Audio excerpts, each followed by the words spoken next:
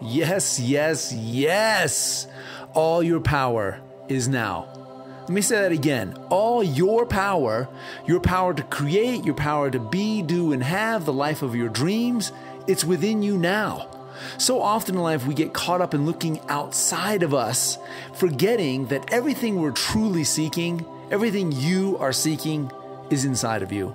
It's inside of you. That's why it's so important to, to get connected at, at, least once, maybe twice a day. Meditate or visualize or listen to one of my audios because they always will get you connected to you. Let's talk about that for a moment. All your power is now. Feel that thought that your power to create your life, to take your life in a completely different direction, or to stay on the path you're on, but just commit to it your power to do that is right now. It's not in the past, it's not in the future.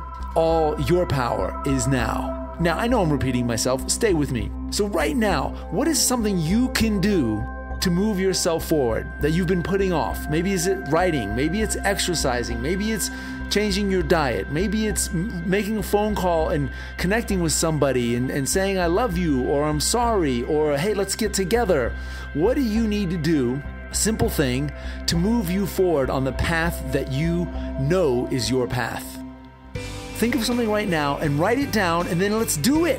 Let's do that thing that moves you in the direction of your dreams because every day is an opportunity to move in that direction and become who you really are and tap into more of your awesomeness, your creativity, your courage, your passion, your joy. Carpe diem. That's right. Today is the day. Thanks for listening. I'm Andy Dooley, and all your power is now.